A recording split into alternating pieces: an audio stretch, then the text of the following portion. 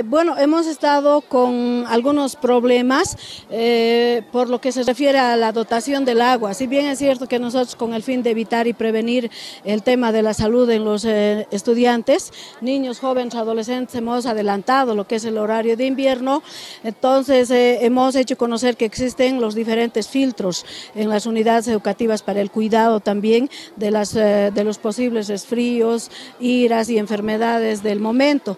Lamentablemente muchas unidades educativas nos reportaban que no estaban con la dotación y el suministro del agua, un líquido elemento muy importante que también hace que existan focos de infección al interior de las unidades educativas.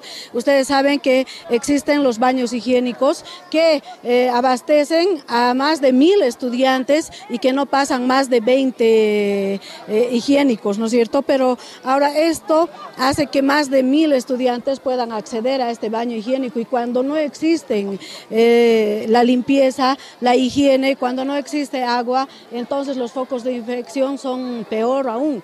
Hemos hablado con las autoridades municipales, con el gerente de La Paz para que pueda priorizar la dotación del, del tema del agua a las unidades educativas. Eh, hemos estado con ese problema, pero por lo demás, la implementación del horario de invierno ha seguido nomás su curso adelante, eh, se ha implementado y estamos viendo que están dando cumplimiento todos los directores. Licenciada, desde el CEDES algunas eh, autoridades sugieren la suspensión de actividades educativas mientras se normaliza el aprovisionamiento de agua en esas zonas donde no se tiene este líquido elemento. A partir de las 11 de la mañana se va a recibir una información de directores de unidades educativas, especialmente de las zonas altas, cómo está la provisión del agua y si no están llegando con cisternas, no se está eh, provisionando de agua, vamos a tener que analizar para ver qué es lo que corresponde. Por el momento estamos esperando los informes de los directores. ¿Cuántos establecimientos estarían sin agua hasta el momento? ¿Qué reporte tiene usted? Mm, no tenemos ningún reporte, eso es lo que a nosotros nos eh, un poco nos tranquiliza.